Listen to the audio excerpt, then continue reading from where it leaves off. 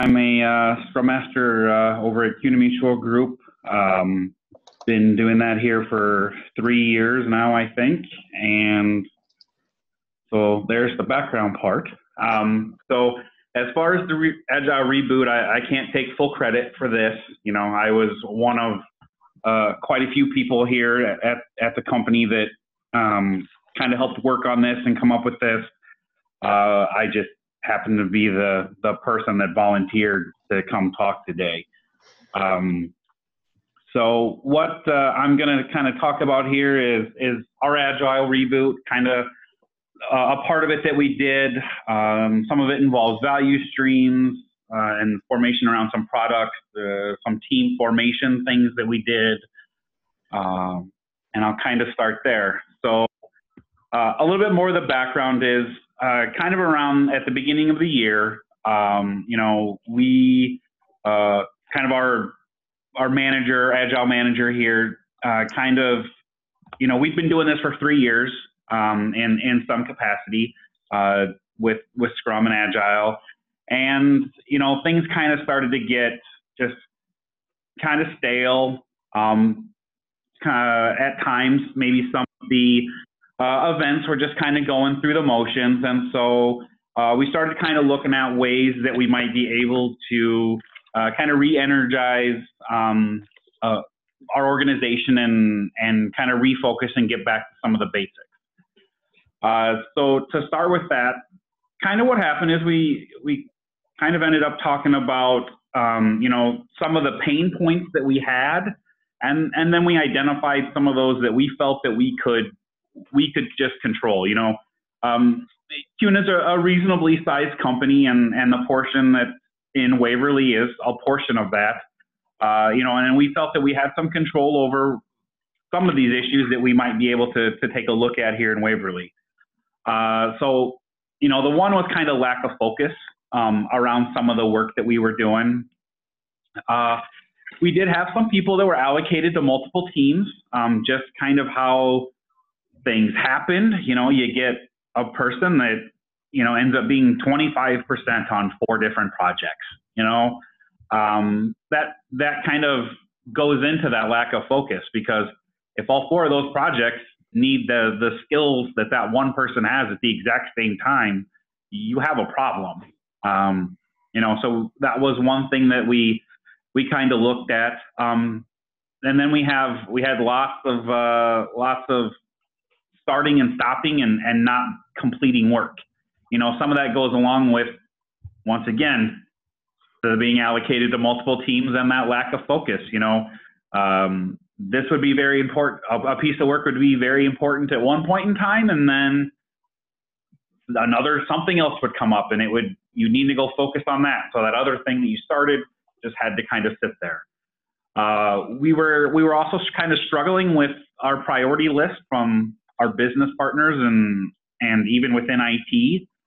Um, you know, like I believe most organizations experience, we also had some some shifting in the budget that happened coming out of you know coming out of 2018 going into 2019 there were there were some adjustments that needed to be made and you know once again that also led to stopping of work and and going in a different direction and that budget affected the priority from the business. Like I, there is a trend. Lots of these things are all related to each other. Uh, over the over the three years, uh, had kind of, at least in Waverly here, we had kind of gone to like capability teams or component teams, uh, and we we started to recognize that that started to cause a lot of handoffs as as the work would need to go from one system you know, through an integration layer over to another system. Uh, we just started noticing those handoffs, and we and and we were hoping that we might be able to control that a little bit. Um, you know, also with that, those component teams, um, the training uh, and the skills that people had was was really focused. Um, we we have a lot of great people, and they are really strong in, unfortunately, very you know kind of tight focused areas uh, which is really good at sometimes and on other times can kind of uh, you know hurt hurt the process. And then you know once again with being that component um, the the work was kind of very hierarchical and compartmentalized. You know, because this one component team would do that one piece of work, and this other one would do that one piece of work, and you couldn't, you know, that's just how it was. So we started kind of brainstorming and kind of working through some things, and that really started us kind of looking at, you know, what are our products that that CUNA has, at least in the Waverly part, uh, that we do work with. Uh, so that kind of led us into the next area, and we we kind of, at least in this first round that we're going through right now, because just like everything, it it'll change again. Um, but we kind of came up with these four different uh, value streams that we have. Uh, so starting on the left, we, we have an annuity team, um, and then a product team. We have a life product team, uh, and then we also have a policy administration team, and then uh, what we call CUNA brokerage services um, that uh, and now all of those teams, they you kind of see the items below that they at least how we classified the the some of the bigger things that and pieces of work that they did. It's by no means every piece of work that they did. All these teams do a lot of things that I don't know if any one person can list. Uh, but this is kind of a list of how we broke it down with within internally. Uh, and and with those value streams, we kind of set out that you know each one of those would have a an IT owner or a product owner that we'd have, uh, and then depending on which value stream it is, there's multiple Scrum Masters, um, and then we have a position here at CUNA, PSA, our Portfolio Solutions Architect. Um, you know, they help us design and and work through some of the solutions uh, that are needed. So that was really, those are really kind of the, the products and how we decided, you know, you can, you can have lots of conversations on, on what is a product. Um, like I said, this is our first iteration. Uh, for, for other companies, uh, it, it may be a lot easier. It may be just as difficult or even harder. Um, there's many, many topics that we found uh, out there talking about that.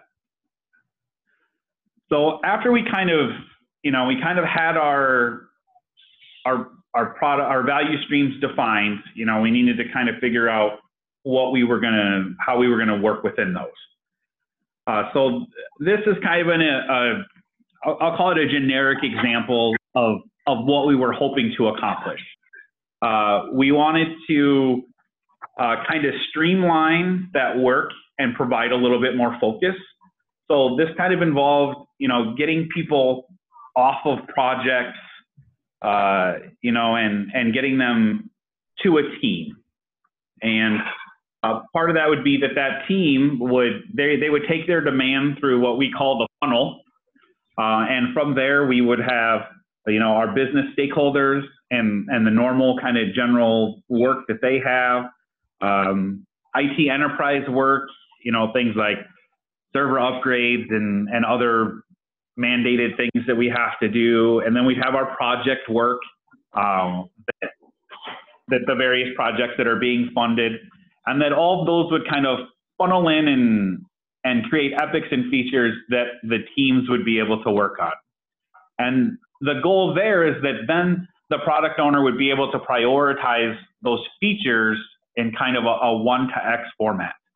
Um, now, and then they would work they would work with all of those the stakeholders the enterprise or the project you know to really understand the priority and, and what needs to happen so that they can make their goals as well as provide a focused interaction that the teams can work with so after so so with that one to x list now this is an example that happens to have four teams you know we have we have two teams, three teams, four teams. We have a, a few different versions of it. This just happens to be the four team version. Um, you know, so there's a product owner there um, within the value stream. Then there's a couple scrum masters um, that are there with a couple teams. Uh, another thing to to note that happened is that um, before with our our our uh, partner staff or offshore staff, uh, is that they were when we were component teams, we had them embedded in the teams, uh, and those teams would would handle the work and, and the and the handoffs that would happen uh, every day. Uh, with the value stream, we hope that we could get those teams, those offshore teams, uh, to be their own team, um, and they could function independently. Uh, we did uh, for the initial rollout. We did have them what we what we call dangle off of uh, a specific team that was that was on site here, um, just so someone could still have and and have that relationship and and directly answer the questions and things like that that they had. Uh, that was a a big shift because that would also you know kind of help with the focus of the team. You know, am, am I helping? Am I helping offshore? Am I working on my work? And and just provide a little more clarity um, to how that process works.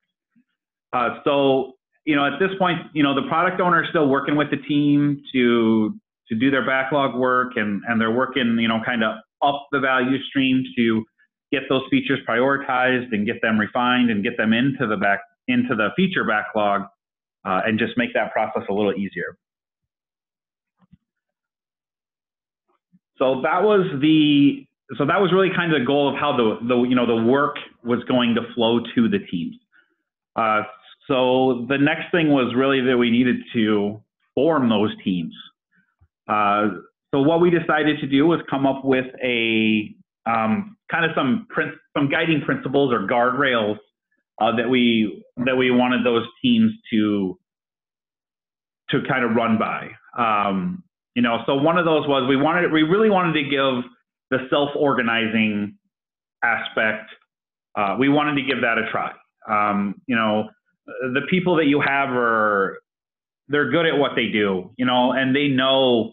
I mean, they know the work better than than the managers and and HR. You know, they're not going to be able to. I mean, they're going to be able to form the team to really get the work done. Uh, so we wanted them to to have as much of that involvement as possible.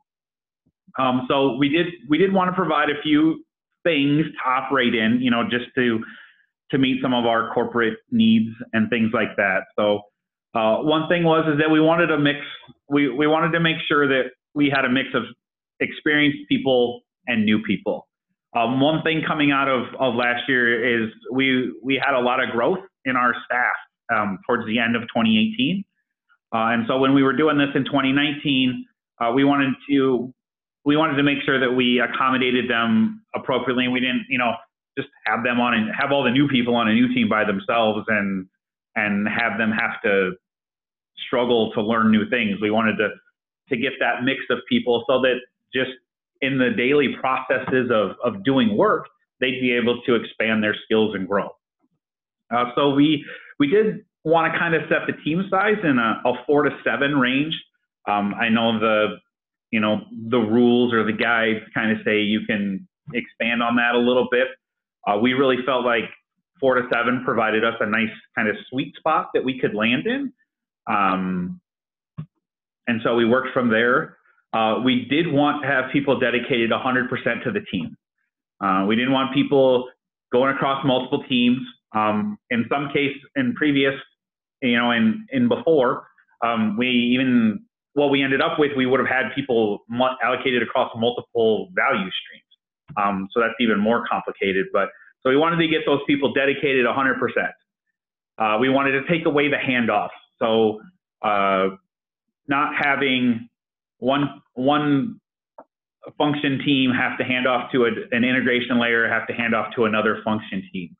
Um, you know, we actually had uh, a couple integration teams um, that kind of handled our services um, and, and BizTalk, if anybody's familiar with that, and, and enterprise software and and those people actually got um, kind of dispersed amongst the value streams, um, so that now we could remove these handoffs. So now, I mean, we still have handoffs, but within Waverly, we were able to at least make it so from our administrative systems, we could get everything through and, and make it essentially available to other parts of the company or external.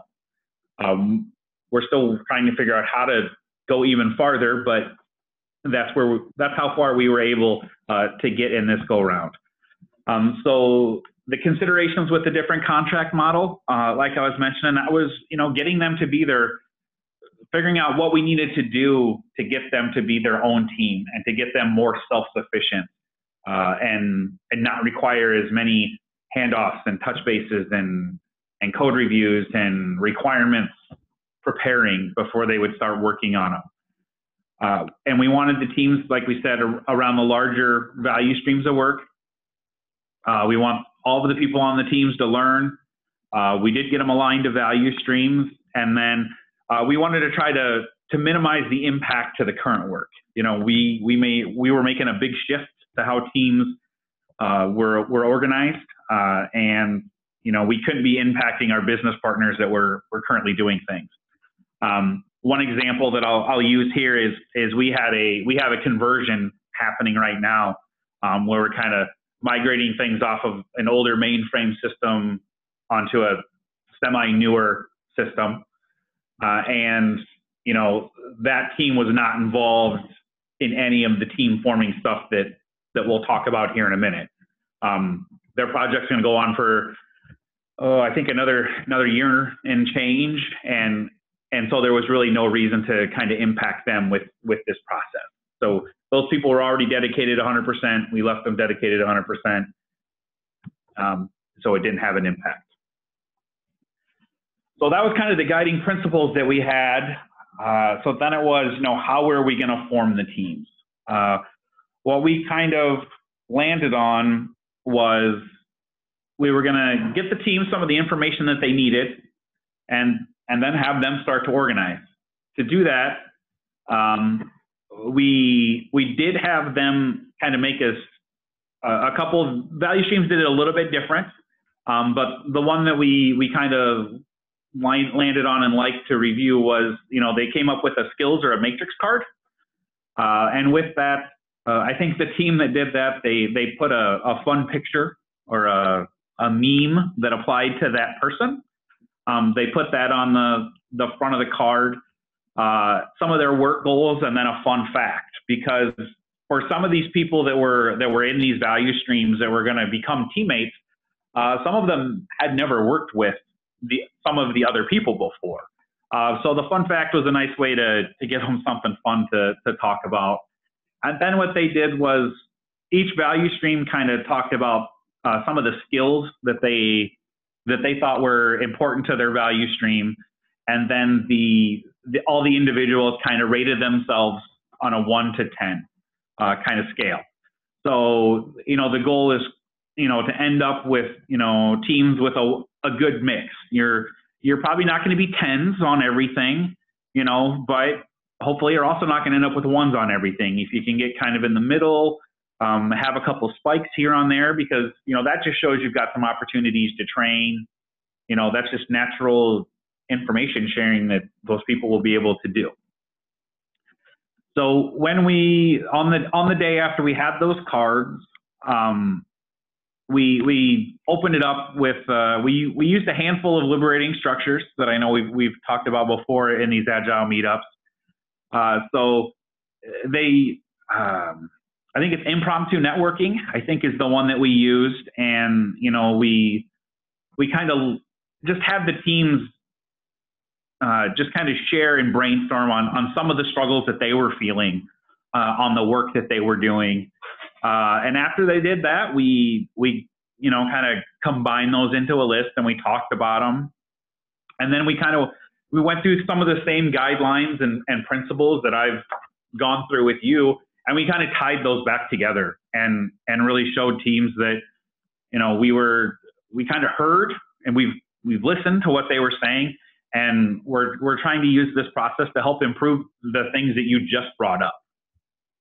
Uh, we did have the, the various component teams um, share what the kind some of the work that they currently do, some of the projects they were currently involved in, because uh, we felt that since that work was going to be coming into these new teams that we were forming, um, that was only fair that they had a little bit of an understanding of what that kind of work is and, and what they might experience going forward. And then uh, we used what we called the 128 all to, to form the teams. Um, it's kind of a, a, variation of the one, two, four all, which is another liberating structure.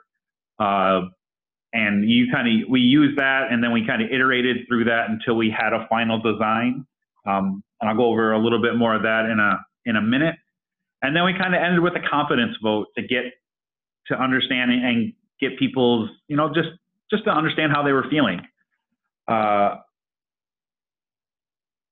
so with the one two eight all, uh, you know, what we did is, so we, we had a list of people, um, all the people that were going to be in the value stream. Um, like I shared before, not everybody had worked with everybody, so we wanted to make sure we didn't forget anybody. Um, so we had everybody with a, a, list of everyone who they needed to put on a team, uh, and then uh, they they used the skill matrix and the cards that we to kind of put you know put people on the put into teams and and make sure that they had a good mix of skills. So after they did it individually, had them go into and do it as a pair. Uh, you know, find a partner, hopefully one you haven't worked with before, uh, from a different team, uh, and then they would kind of compare their list um, and go from there. Uh, afterwards, make that a little bit bigger. Got to sets of eight. Um, and then we went through and discussed each of the sets of eight outcomes uh, and designs and, and kind of came up with like what their final design was. Uh, you know, during this process, some really interesting things happened. Uh, you know, we had one one group that was going to have, uh, I think it was 25 people in the value stream.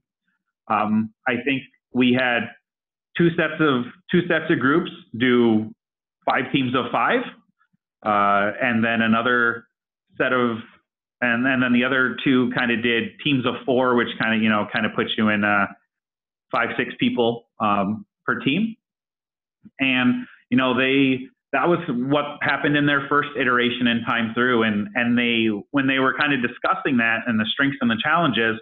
Um, they kind of figured out that if it was five teams of five, that they couldn't they couldn't quite get all the skills that they needed on a team, actually on the teams. Um, and so out of that iteration, it was kind of the, it, they kind of decided that, you know, a team, four teams is, is probably where that value stream was going to end up. So they went, you know, they went through the whole process again, um, and then ended up coming with their final team design. Uh, another another story out of another value stream was that you know they they formed their teams um, but, you know, they went through the process. Um, they they kind of left for the day, uh, and at the end of the day, the the scrum masters that were that were in that value stream kind of recognized that no nobody in the team, nobody that was on the teams, kind of left the left the room feeling very good. Uh, you know, and there was there just wasn't a lot of there wasn't as much confidence or excitement as you would hope. Um, you know, coming out of an event like that. Uh, so they they actually you know kind of owned that, um, and and they took it upon themselves to uh, they they did the event again the very next day, uh, and uh, when they when the teams were were talking and and kind of dividing up, they actually kind of just left the room even and and let the team members kind of hash it out. Um, that and you know, on that day, uh, we kind of noticed that you know when those people left the room, they were much more excited and and more engaged uh, and and ready to get started with the whole process. So that was a, a very uh, enlightening thing to witness. So that was how we formed the teams. Um, so after after we the all the teams got through that, um, the various value streams uh, kind of went through what we went through an inception workshop. Uh, so part of that was they created and formed their shared feature backlog. Uh, so because these teams, you know, they were they were formed out of different component teams um, within our within our the software that we use, Azure DevOps. Uh, we had a we had a lot of different we had a few different areas where work was. Uh, so we needed to get that consolidated uh, so that we could, you know, really focus and provide a, a one to X list um, for the teams to work from. uh, we also wanted the value streams to create a shared definition of done. Uh, you know, they, uh, if, you know, if, if team A is going to be working on, on some, a feature and they're going to complete it, you know, the other two, the other two or three teams need, you know, need to understand what does that mean that that other team did, you know, without having to check, you know, a hundred different things inside code management. Uh, so they did that, and uh, they also kind of they formed. Uh, they also did a working agreement. Um, each team did a working agreement so that you know, they understood hours they were going to work, the webcam policy for that team, um, things like that. Uh, they also had a came up with kind of the Scrum event cadence. Uh, so you know a lot of teams. So this was kind of a new experience for a lot of teams. So we had to form so we we had a lot of kind of value stream activities. You know, um, the refinement uh, happening as a value stream, the sprint, the sprint planning, the sprint review. Uh, we kind of every team kind of came up with what that cadence was going to be. You know, as well as the teams needed their individual events. Um, they needed they needed their daily. Um, they needed to have their own refinement on top of the value stream refinement. Uh, teams most teams, I, am pretty sure, aren't doing a, their own sprint review. They're just doing everything as the value stream. Uh, and then lastly, they, they went ahead and planned their first sprint together as a value stream. So after that, we really worked at, um, you know, communicating um, kind of what that outcome was with, with all of our stakeholders. Uh, we did that a lot by, by level that we have here at CUNA. Uh, so that's our, you know, working with our our our direct business owners and, and stakeholders and, and project teams, and then working with above that the business owners of those areas and of those teams. Uh, and then that kind of resulted in us needing to do some weekly communication um, with those with those stakeholders. Um, and we actually do that now just once per sprint uh, after we plan. Uh, and then one of the key events that we had was, you know, the value stream level retrospective. Uh, that's a, a, great opportunity for all of the teams and, and, all of the people involved in the value stream um, to try and bring out things that need to improve. Um, you know, we've on, on the value stream that I'm involved in, I think we've, I think we've tweaked how we do the value stream refinement about four times in, I, I guess the almost four months that we've we've been a value stream. Um, you know, it's it's the constant adjustments, trying to figure out what works and what doesn't work. So some of the re the reflections that we came out of this whole process with um, was we didn't really identify the you know the impact um, to some of some of the outside staff and, and business partners that we work with you know, we we were like, well, this is this is Waverly IT, um, and the work that we're doing here, we're we're just forming our teams here. The work's still come, the work's still going to come in, and, and we're going to do it, and we're going to deliver it. So um, it's not going to affect them as much. So uh, it ended up disrupting them quite a bit. Um, as we'd hope to minimize it. Uh, I don't think we we did as much as we could there.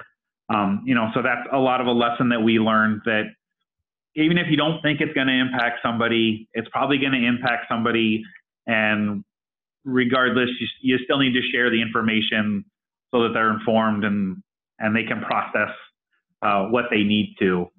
Uh, you know, and, and one of the things that came out of that when we were when we were interacting with our stakeholders and they were uh, expressing some of their frustrations, you know, was a lot of them wanted us to go back to the way things were before. Like, you know, some of these project teams, they didn't, they didn't want to deal with, they didn't want to work with a value stream. They didn't, they wanted to work with one specific team, you know, not recognizing that, you know, if your work is a priority and it's going to a value stream that has four teams, you know, you now have four teams available to do your priority work, not just one team you know, and, and that's one of the advantage. That's one of the things that it has.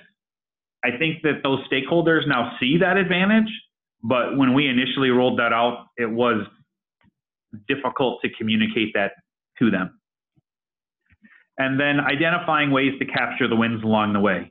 Um, you know, we used, uh, I remember one sprint review in particular where um, one of the newly formed teams, um, they made sure to, we had them sh really show, um, they were able to get a feature done um, in, in one sprint um, that would have historically in our previous formation would have taken three sprints just because of the handoffs um, and the communication and, and those kinds of things that would have had to have happened.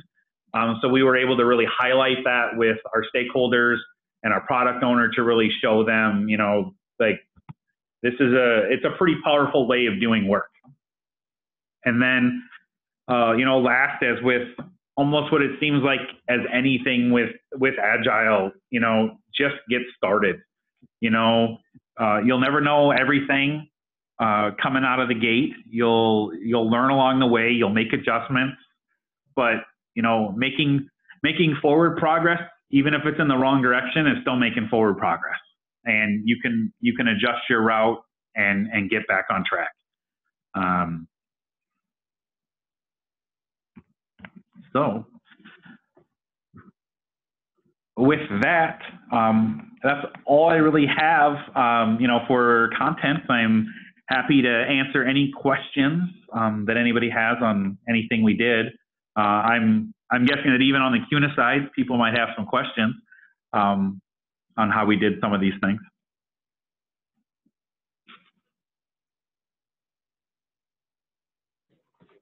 Hi, this is Josh. I've got a question. Yeah. Um, related to the team formation, when you are were separating everybody out into new teams and everything like that, what were the struggles or how did you deal with the work that was maybe already assigned to those uh, to those team members? Was it clear handoffs? Was there a transition period where they were kind of like living in two worlds? What did what did that look like, or was there a more clean separation in terms of uh, how the work was assigned? Yeah, so you know, if we we did have uh, a handful of folks um, that you know they had work that was in flight that they needed to finish.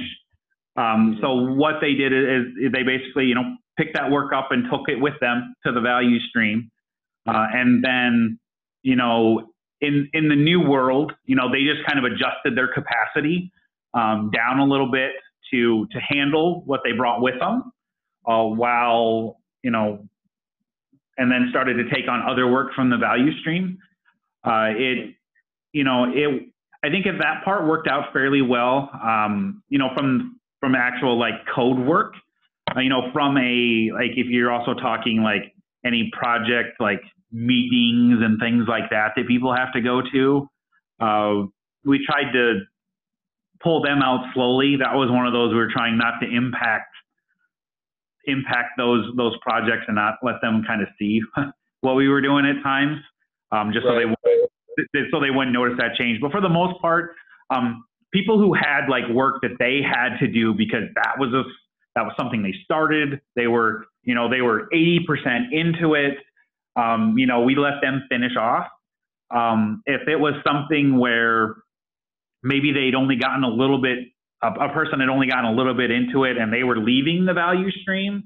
Um, things that were kind of along that nature, we just we we just had those go to the new value stream or stay in the value stream they were in, uh, and and let that work be picked up and handled there. Uh, you know, all the value streams had all of the somewhere in their structure had all of the skills they needed to do the work, and so that only 10% item may just may just end up on a different person. Cool, thank you.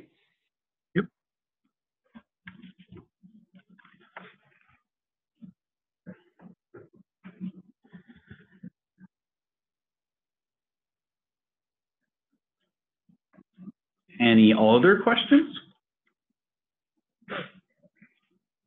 What was your definition of success? Was it just that your throughput increased through each of these things, or did you guys have something that you were kind of monitoring as you went through it?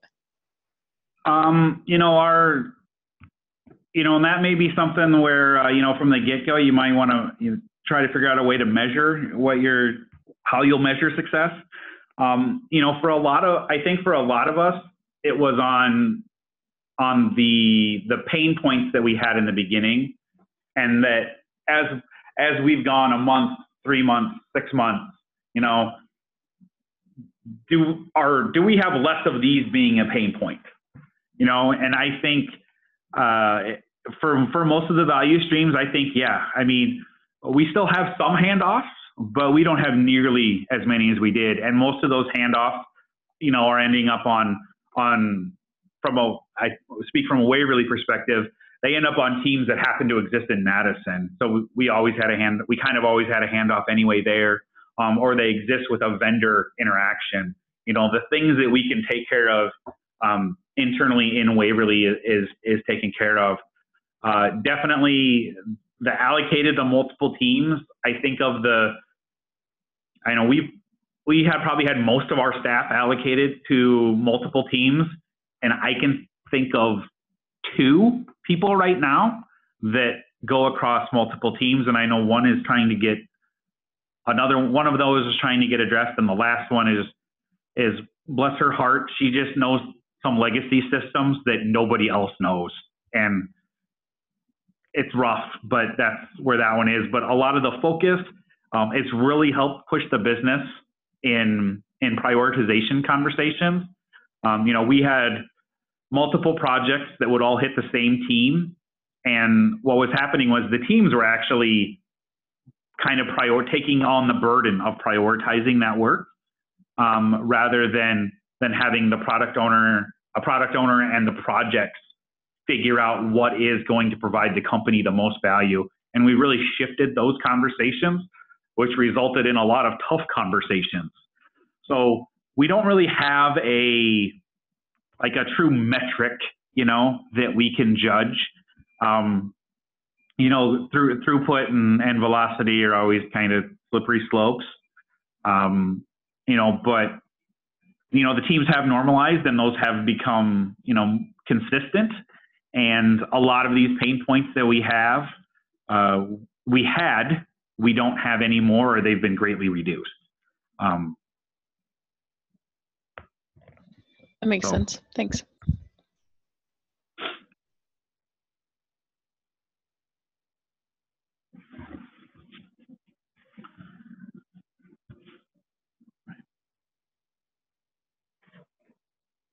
Were there any other questions for Mike?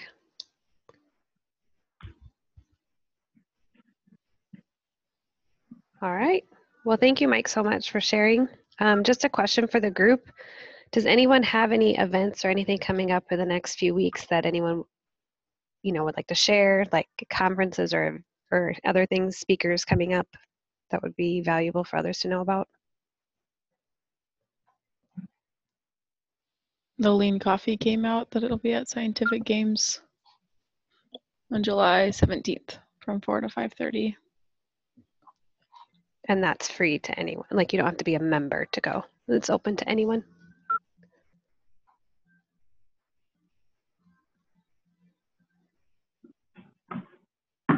Anything else?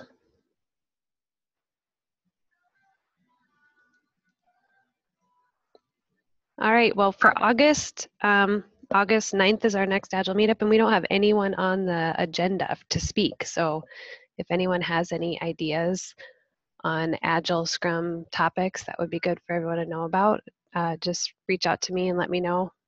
It's pretty easy. It's Angie at farreachinc.com or at .com. You can email me anytime. Um, other than that, Mike, are you trying to talk? And we can't hear no, you. I'm not. Okay, cool. All right, thanks again, Mike. Everyone enjoy your weekends. No problem. Thank you.